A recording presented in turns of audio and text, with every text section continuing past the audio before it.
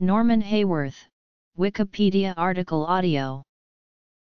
Sir Norman Haworth FRS Chorley, Lancashire March 19, 1950 in Barnt Green, Worcestershire was a British chemist best known for his groundbreaking work on ascorbic acid while working at the University of Birmingham.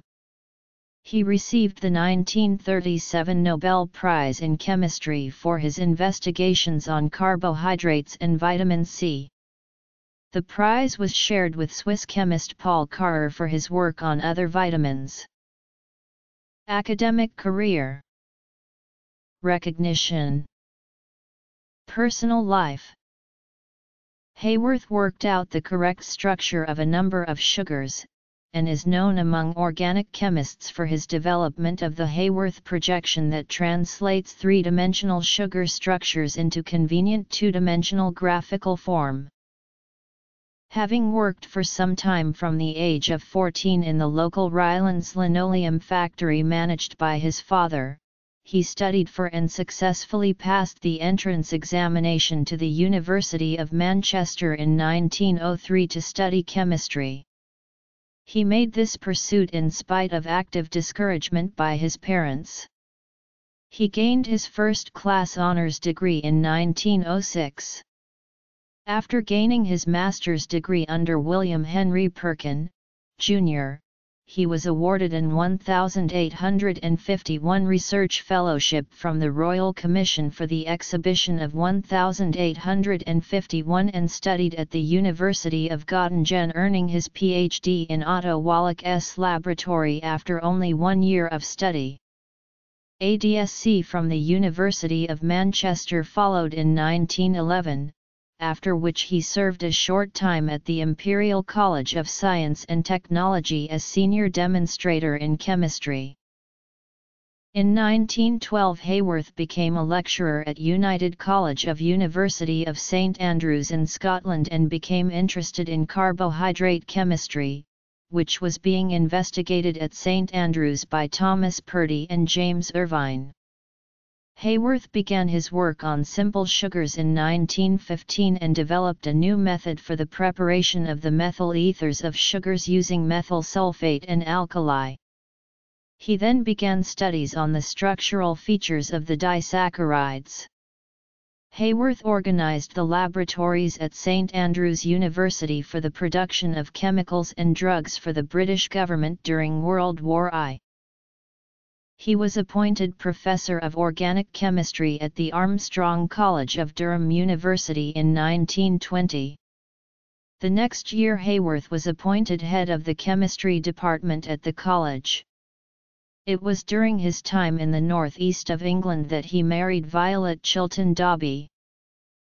In 1925 he was appointed Mason Professor of Chemistry at the University of Birmingham. Among his lasting contributions to science was the confirmation of a number of structures of optically active sugars. By 1928, he had deduced and confirmed, among others, the structures of maltose, cellobiose, lactose, gentiobiose, melibiose, gentianose, raffinose, as well as the glucoside ring tautomeric structure of aldose sugars. In 1933, working with the then Assistant Director of Research Edmund Hirst and a team led by postdoctoral student Maurice Stacey, having properly deduced the correct structure and optical isomeric nature of vitamin C, Haworth reported the synthesis of the vitamin. Haworth had been given his initial reference sample of water-soluble vitamin C or hexuronic acid by Hungarian physiologist Albert Szent-Györgyi, who had co-discovered its vitamin properties along with Charles Glenn King, and had more recently discovered that it could be extracted in bulk from Hungarian paprika. In honor of the compound's antiscorbutic properties, Haworth and Szent-Györgyi now proposed the new name of ascorbic acid for the molecule, with L-ascorbic acid as its formal chemical name. Haworth is commemorated at the University of Birmingham in the Haworth Building, which houses most of the University of Birmingham School of Chemistry. The school has a Haworth Chair of Chemistry, from 2007 held by Professor Nigel Simpkins. In 1977 the Royal Mail issued a postage stamp featuring Haworth's achievement in synthesizing vitamin C and his Nobel Prize.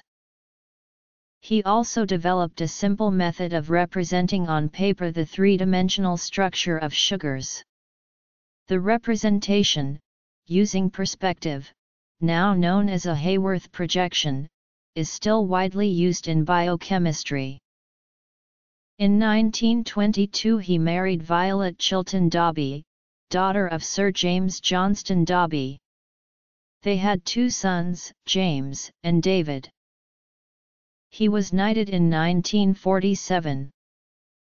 He died suddenly from a heart attack on March 19, 1950, his 67th birthday.